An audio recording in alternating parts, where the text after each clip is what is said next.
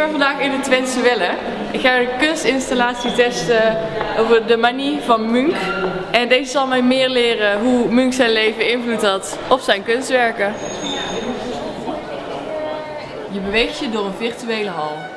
In deze hal kun je een keuze maken uit de kamer die je binnen wilt treden.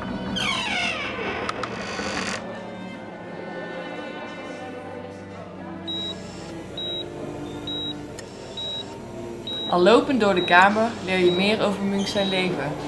Zo leer je welke ervaringen hebben geleid tot het maken van zijn schilderijen.